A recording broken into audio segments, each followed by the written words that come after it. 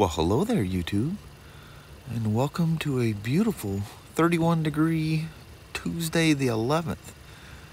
Earlier, when I first came out here, I heard a, a train going by. Every once in a while, you can get the think things are just right, and you can you can hear them going by all the way over there. Sparky, is this our morning little thing, huh, buddy? What you got on your little schnauzer? That is literally, I know I say this every time, he's the most lovable dog. He's such a good boy. He didn't like the Spyder yesterday morning, though. That kind of freaked him out. He goes, I'm not used to that first thing in the morning. Well, there, little woman. Just go, ma'am. I don't know what the temperature is or if it's the fact that we've been in the truck for the last hour and 15 minutes. It's. It's cold. Take me a moment to climatize here. I know it. Anyway, you have yourself a wonderful Tuesday. All right. Looks like this is going to break off, and I think it looks like just a high fog. Supposed to be nice. Cool. I'll take it. All right. All right. Love you. See you bye there, I little woman. All right. Bye bye now. So, what do you think? That's the demo. I don't, she wasn't that clean when I took it home. But there was a massive ECM update that I knew nothing about until it popped up. But uh, since I got the thing turned on, the fuel range. You want to see how you get that in there? So when I say push, that's an enter, and then when I say it's a joystick, so you got right, left, up, and down.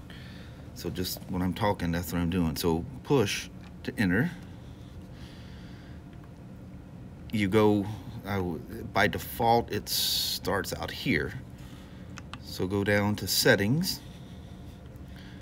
Click in. Click right. I'm sorry. Go down to.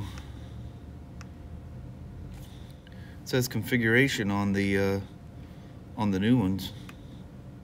I do not know how to do it on this one. The 2020s are, are definitely different.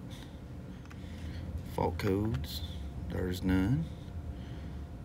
Oh, look at that. But there's no active fault codes on this thing. Interesting. Whoa. Maybe I gotta reboot it. Because there was a that that update was huge. So I don't know. Well, let's just take a look here. See, we got all these fault codes showing. So you go in the faults, nothing.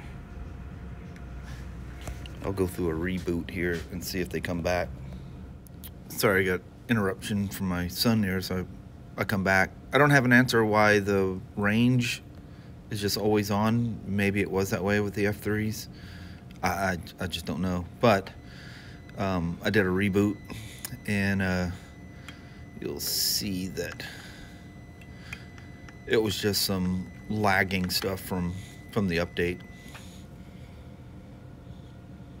so it just needed a reboot after performing the TST the ECM update cool man well I don't think it's going to clear off today that still just looks like a fog layer of some sort. Well, let's take the old demo F3 up front. We'll do a quickie around the block here, right, right fast. A uh, R1250 RT K1600 something. Not sure which one it is. It's 2020. I don't know if it's a Grand America B or what it is.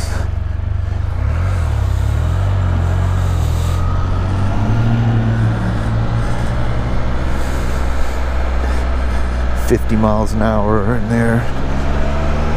Crazy people. Man, I'm telling you, this sucker wasn't this clean when I.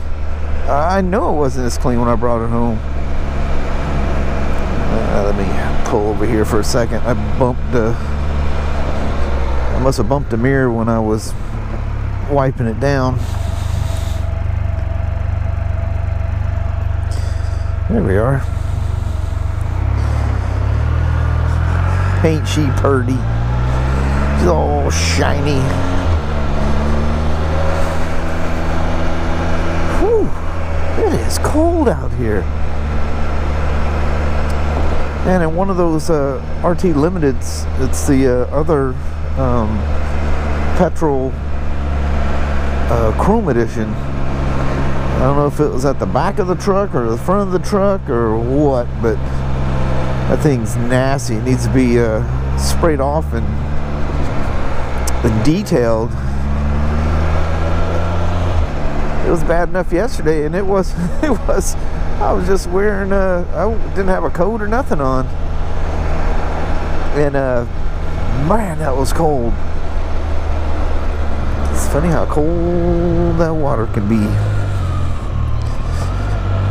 Oh no, let's don't find any wet roads here. I don't want to dirty up all my uh, all my hard work. So it looks like I'll uh, get to at least one of those BMWs. Oh man, I had it hooked up to the. Oh no, it set itself. How do you like that? It, it must have done it because it did that full reboot. I still don't even know what the update was. I forgot to look. Search in the in the archives and see. Let's go this way.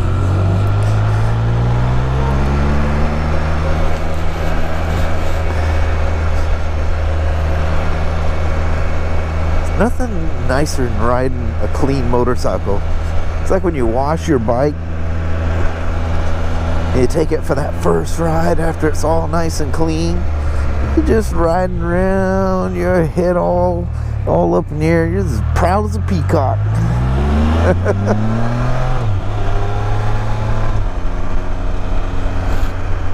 Whew. Man, oh man these gloves breathe really well. That's cool. Look at this guy. I don't think he's going 25. What are you? That's crazy. All it takes is something like that and somebody to, you know, look, not realize he's going that fast and pull out. And uh, it's, it's a disaster in many, many ways. Holy moly. It's got a bite to it out here. Man, I almost took off without my gloves. I, I thought, well, that's a little cool. I'll throw my gloves on. I have to say, they don't seem to be doing me a lot of good at the moment.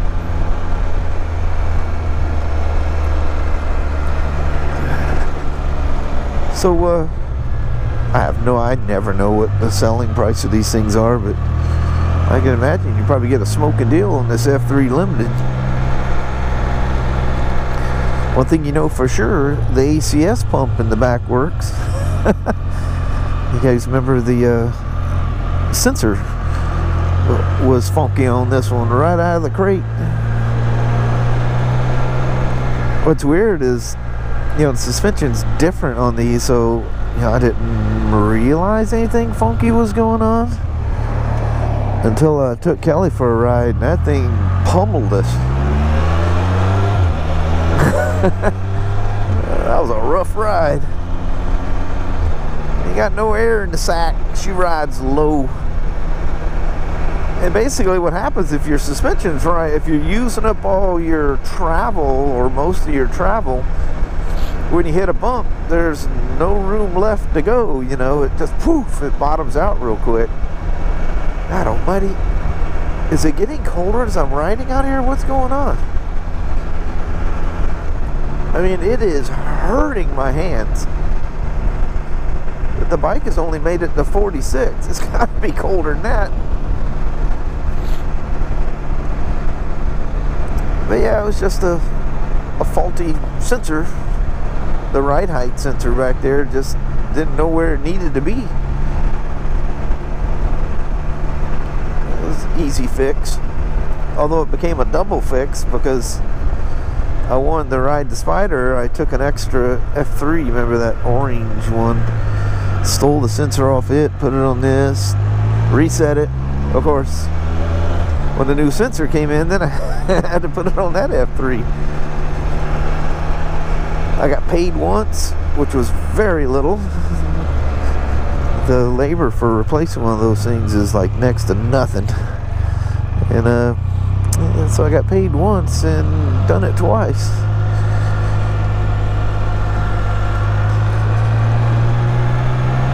It's a weird looking sky out here. Them clouds almost have that, it's about the snow look to it. But then I have a feeling it's just a high fog. Who knows? It is what it is. It's not raining, so I'm happy about that.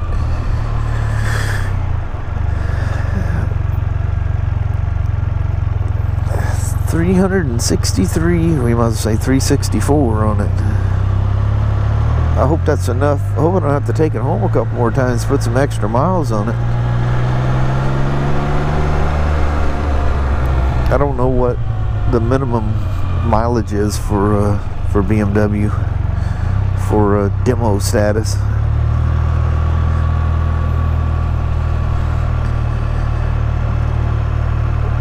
Come on down, take her for a test ride, see what you think on her. If you like it, take it on. yeah, they don't have them doors open today. Well, they do got the one open. I'm just gonna land it right here, let them sort out where they want it. Alright, so this officially is the last ride of the F3 demo. I made up another tag. I don't know what I've done with the other one. I had a spare little clippy thing there, so I just built up another one. The other key and everything's in the deal packet. There she is, the old F3. Didn't spend a lot of time on you, but it was fun while it lasted. The little short amount of time. All right, I'm out. So this is a 2020 RT Petrol Dark Edition. Just so you guys know what I'm talking about here, not think I'm completely bat poop crazy here. Let me show you what I'm talking about. Customization. See, by default, it's set to off. But you can see range distance. Just have that turned on. I I'm almost positive I had to turn it on on that F3, so I don't know if something changed or I'm just thinking of of an RT or something. But anyway, that's where you go if you buy one of these. It's in the settings off to the side. It's pretty cool. Like I say, that's just an empty spot if that's turned off. Why not have something in there? I mean, you got your fuel gauge over here, but I like to know a number. But that kind of spooked me the other day when uh, we went ripping along there a little bit on a South Military Road, and all of a sudden, dunk, it went to three dashes, and the uh, the gauge disappeared. I'm going, hmm. But I had that Shell station. I had a couple of options if I really thought I was in threat. But we made it. The camera didn't make it, but I made it to the gas station. She's full of nice non-ethanol super unleaded. Heck yeah, man. There we are. Almost got her finished before the end of the day. Guess I can take this off now. I take that off last because I'm up there putting the preparation for navigation on there. So I got the battery, all the safety check stuff you got to go through. Woo! There's an ambulance, fire truck. But I got the uh, chin fairing to install on it. Gotta do that tomorrow, and then all the final checks, and she'll be a runner. Then it's off to a K1600. I still didn't look to see which model that was. I just know it's a K1600. Alrighty, it's time to roll out.